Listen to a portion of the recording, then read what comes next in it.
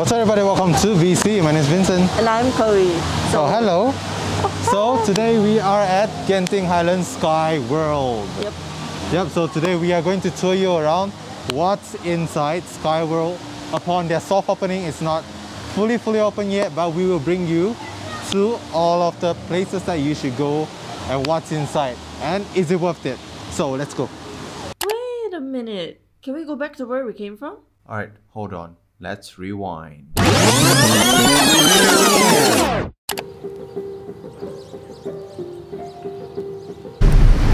Hello. So where are we right now?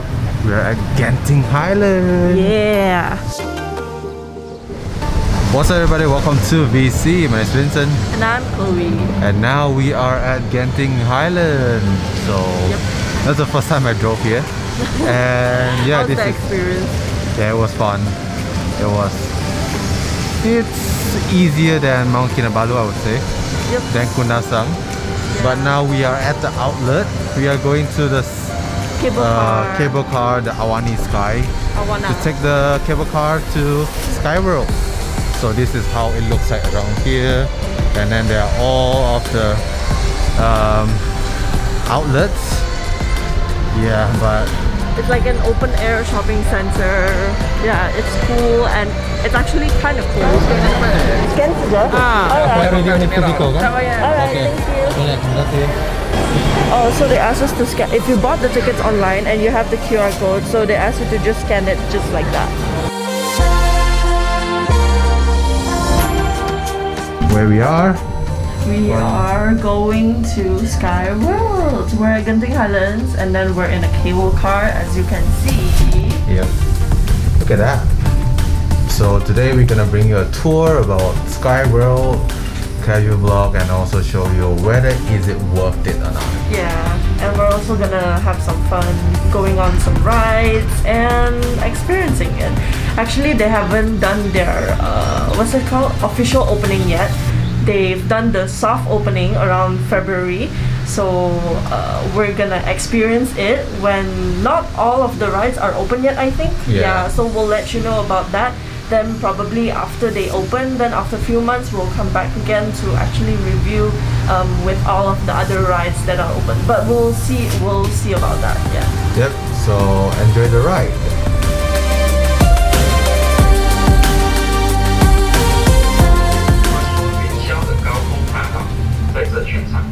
八公里的云场中，而且它还要在云顶世界的马来西亚。 So after you get into this mall, you have to go straight to H&M. Yep, we have to go straight down, down, down until Yeah, the find first H&M floor. until the first floor, and then you can link. You can link to Sky World on your right. you have two theme parks. One is indoor, one is outdoor. So before this, the outdoor one was closed for about like uh, three to four years or maybe more or longer. And then all we had to do was go to the indoors one. Now the outdoor one is open, so we'll go. There you go.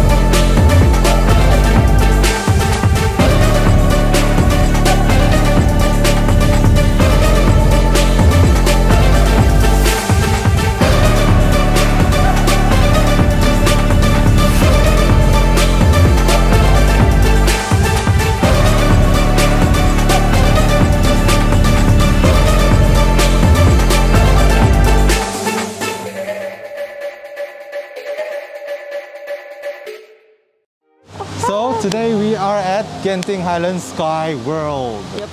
Yep, so today we are going to tour you around what's inside Sky World upon their soft opening. It's not fully fully open yet, but we will bring you to all of the places that you should go and what's inside. And is it worth it? So let's go. So this is Rio. As you can see, we have this kind of swinging around kind of roller coaster. Yep. So this one is called the Samba Gliders. Yeah. Something like a flying fox, but you are actually sitting on it and yeah, Dangling your feet basically. Yeah, dangling your feet basically. Yeah, but uh, uh, some tips and tricks if you first came here, please go to the apps, download it, and then make sure you have the virtual queue so you don't have to queue up so much for so long. So basically with the apps, we will recommend you getting it because it helps you to um, know the map without you having to open the big piece of paper and then like uh, going through the paper all the time because the map is quite big if you want to get it. But uh, since now you have the apps, you can actually go to the maps at your apps then after that you could actually do the virtual queue on it. So remember to plan your journey properly Yeah. so you don't waste any time on the queues. And we have some showcase here Yeah, with all of the dancing sometimes depending on the time. yeah, there was actually dancing just now. It's very very loud now. And from here you can see it's There a food stall actually- basically. There are actually cafeterias for you to sit at and then you could like rest and maybe get some food, get some drinks right here. Yep, and now you and also you can buy some souvenirs around here, and you can queue up for the samba gliders Yep. in so, here. So the one that you saw just now, it is actually Samba gliders. So you can queue up right here to get it. So basically, this is where you queue up, and then you got some kind of stalls around here. Yeah, for And then food. Then you souvenirs. have some small game place. That one you have to pay a little bit extra for it. Yeah. It's not included in our in your ticket, but of course the rides are included in it. So Yeah, you have so these, these kind of games, things. And they give out bananas, Yep. like the big bananas. Yeah. so, so- as you can see, all of these kind of things. This is all round of the samba gliders, and we turn around. You have these another store for play. I mean, basically, that's all of the fun. If you're coming here for dating, it's great for you. But for your family time, it's very great for you. And then the first game, the second game, basically, it's Rio. And then you, it's basically a cup spinner. You can sit down there and then spinning around. Yep. So Yep. this game is called Rio Carnival Chaos. You can find it in your app. Then go, go for it. You are basically like in a cup while spinning around and around and around until you're dizzy. Yeah, but you can control it. So if you're looking for this one, it is called the Blue Sky Carousel. So there's double decker, yeah, and then you can turn round and round like a merry-go-round basically. Yeah. Yep. So that's one of the game. Shall we go that side? Yep, yep, yep. Let's go. Yep. So let's go to that side first. So you walk through this thing where you have a tunnel. Then when you go in on your map, you could actually see this on the right uh, top of it. It's like a secret garden or something. So this one is the epic voyage to Moon Heaven. Yeah. So what was your experience with this? We ride? actually get in this. I think this is the first game that we played. Yeah. So this one is like a boat that you're gonna be wet for sure. Yeah, so- I brought my camera in without knowing we, I'm gonna get wet, so my entire camera just get wet basically. So for us, we would recommend you going for this ride maybe at the end or unless you are already prepared with some uh, waterproof kind of Yeah. jacket or something. Yeah. Yeah, just so you don't get like extra extra wet Yeah, without even going on the other rides. How was it? We're all wet. As you can see in your lens of your camera right here, you are a little bit wet. So we didn't expect it to be like a wet ride. Yeah. But yeah. Okay, it's done. For this ride, it is called the Epic Hummingbird Flyers. So if you're looking to go on this ride, it's actually a family-friendly kind of ride, I would say, because when you fly on it, you can control whether you want to go up or down. So this one has a little bit, tipsy bit of water spraying too. So be careful on Yeah. that. Yeah. Okay, how From there, you can actually come out from the haven, that the moon haven you came in just now. That's the exit. You got a small cafe here for your snacks. That's the hummingbird thingy that you can see it's flying right now. Yep, that's how it looks like. And yeah, for this place, is basically that's it.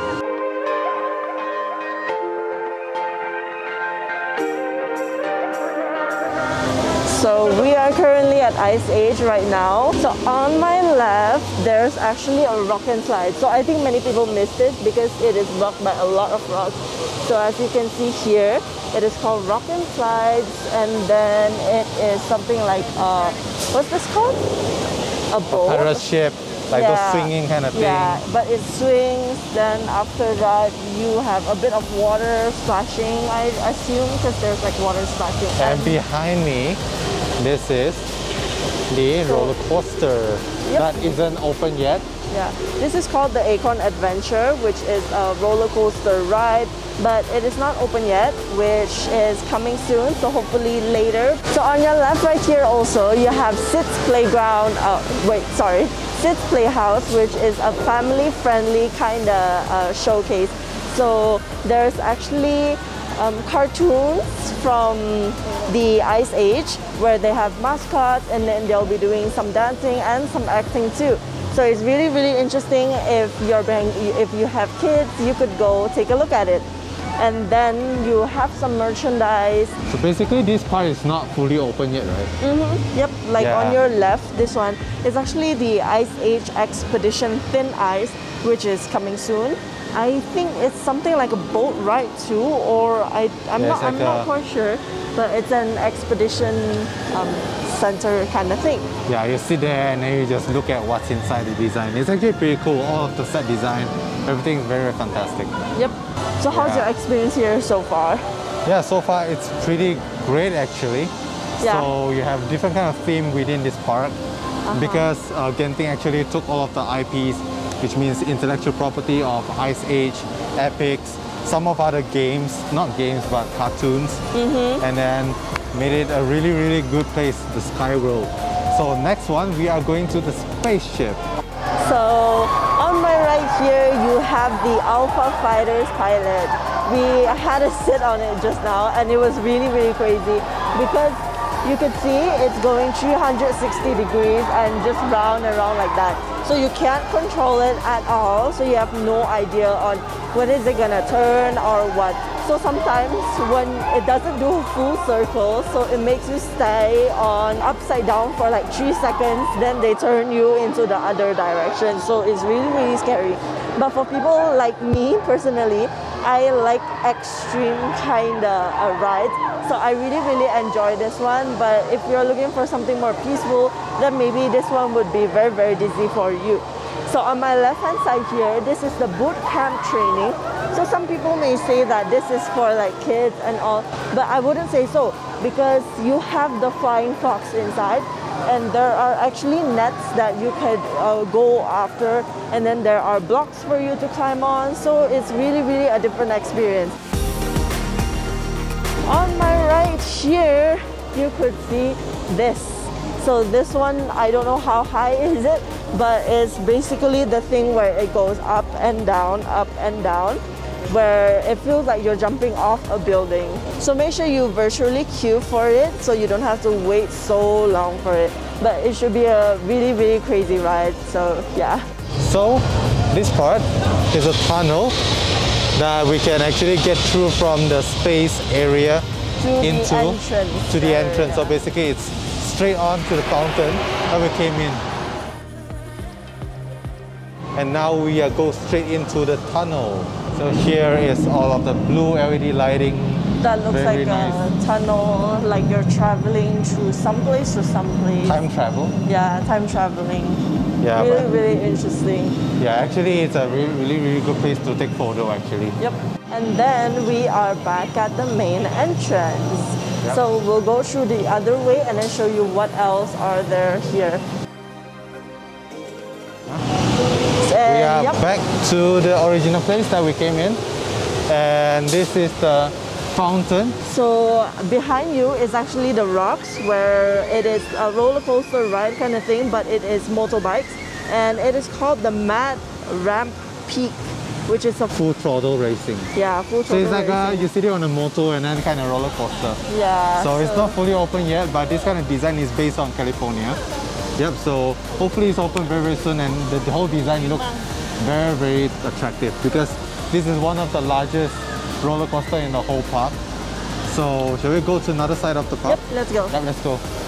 So here is the entrance for the roller, the bike roller coaster that we said just now that is not open. And on your right and on your left, you have different different places that you can take photos and also buy some souvenirs that you want to keep. And the vibe here is so country. Then you have a cafeteria which you could um, get some food and then rest. So right in front of you, you have another swing kind of um, aeroplane thing which is called the ESD Global Defender.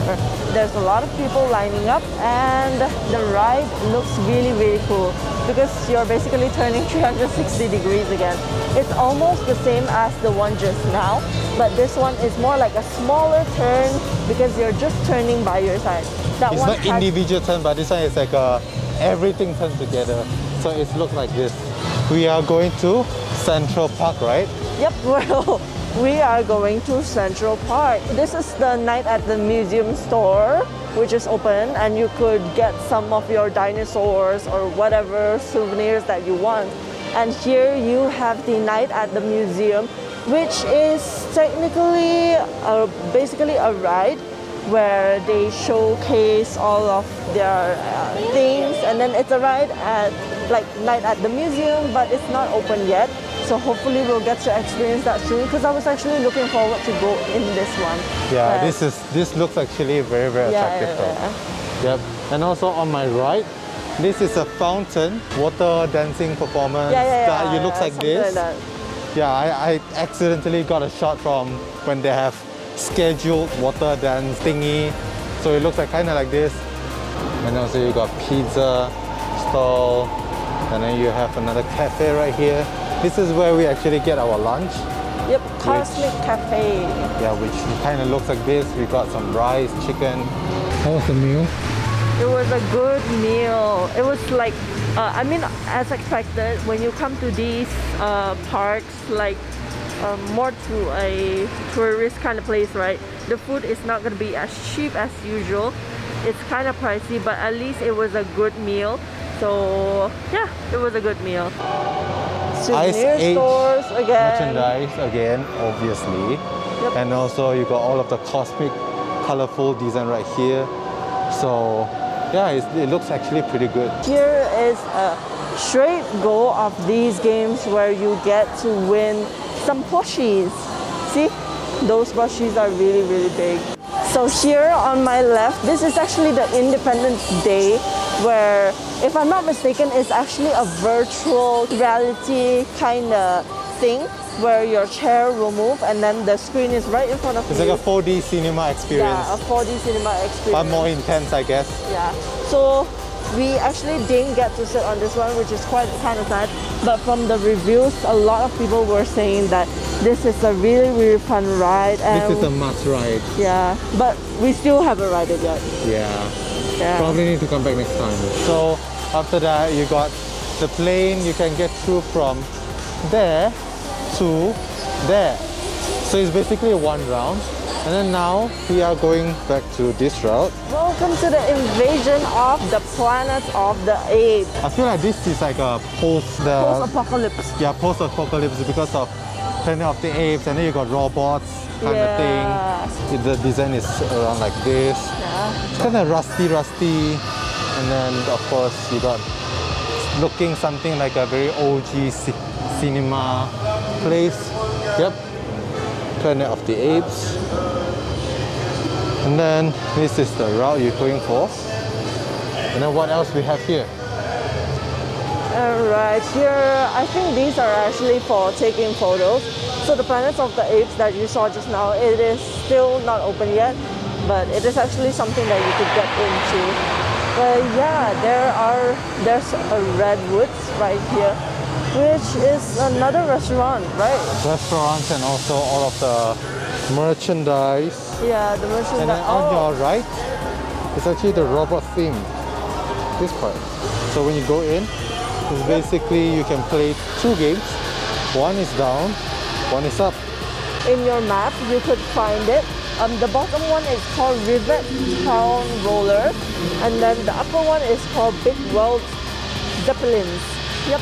So the entrance is right here, two of them, and then the bottom game is something that goes 360 degrees, which you could actually control, which we rode on it just now, and it was super duper dizzy, like very very dizzy because you're controlling it.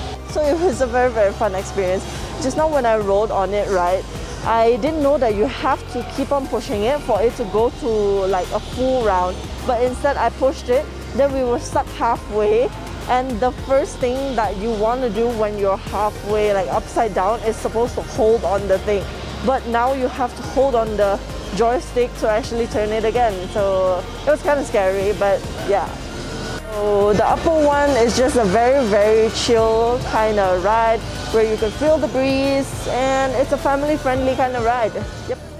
We are back to the space area, which this is the place with most of the extreme thing that you can play with actually in this area.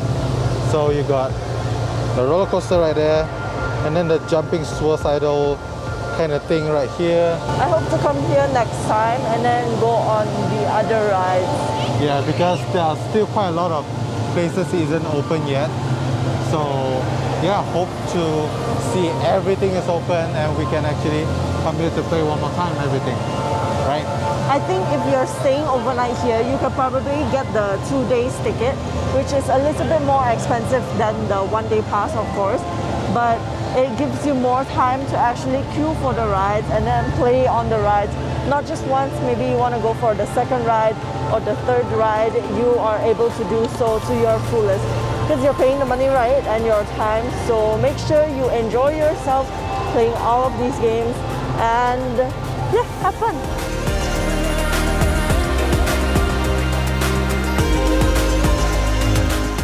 So finally we have finished the whole tour. Hope you like it. And yeah, anything you want to conclude? Well, it was a really, really fun experience and we hope that you come here and actually experience this too.